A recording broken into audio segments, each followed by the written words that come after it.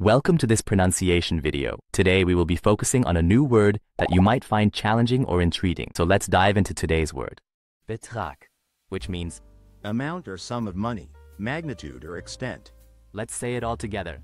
Betrag. Betrag. Betrag. One more time.